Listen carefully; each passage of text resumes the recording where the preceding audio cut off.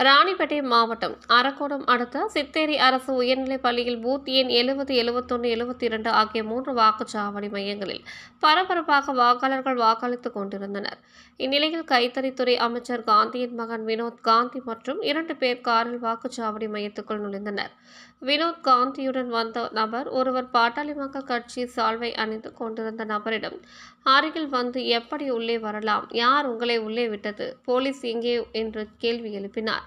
அப்போது அங்கிருந்த பாமகவினர் உங்களது கார் எப்படி உள்ளே வந்தது? உங்களை யார் உள்ளே விட்டது? நீங்கள் எப்படி திமுக துண்டு அணிந்து கொண்டு வரலாம்? என்று பாமக திமுகவினரிடையே வாக்குவாதம் ஏற்பட்டது. அதைத் தொடர்ந்து வினோத் காந்தியின் கார் அங்கிருந்து மெதுவாக வெளியே செல்ல முயன்றபோது அவரது கார் கண்ணாடி உடைக்கப்பட்டது. தகவல் அறிந்து அரக்கோணம் டிஎஸ்பி வெங்கடேசன் சம்பவ இடத்தில் விசாரணை நடத்தி வருகிறார். இதனால் அங்கு பதட்டமான சூழ்நிலை நிலவி வருகிறது.